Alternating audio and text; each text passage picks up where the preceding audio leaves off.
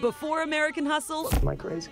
I don't think so. before Silver Linings Playbook, Come on, she's making Krabby Snacks and homemades. before we met the wolf pack in the Hangover series, We lost Doug. What?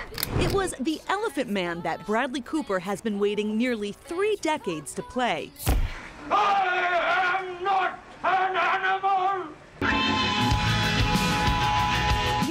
The tells the story of Joseph Merrick, a severely disfigured Englishman who went from freak show attraction to the toast of London high society in the late 1800s.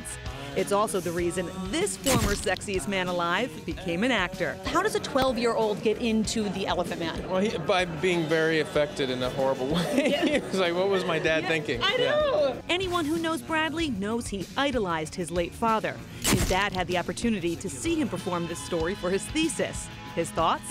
He loved it. I mean, uh, the truth is, he was very uh, sort of skeptical about me becoming an actor. And he saw that my thesis project of The Elephant Man. I started hugging me and said, uh, you know, I think you can make a living at this. So it was nice. That was a big moment for me. Yeah.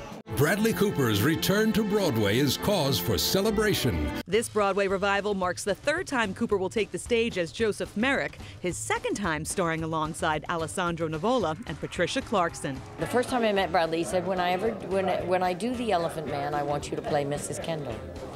And that all came true. You know, actors always say things to you, and you're always like, "Sure, sure, sure," but it actually came true. Are you having that pinch me moment? Um, uh, yes, I have it every day, and then my heart's aflutter.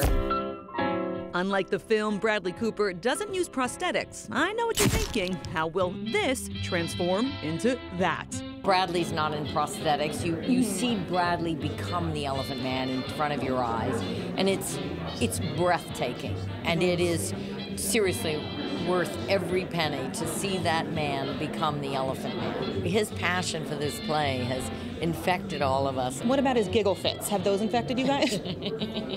We have a few of those. Let's not hope on stage, uh, because unlike Jimmy Fallon, we can't cut them out or leave them in.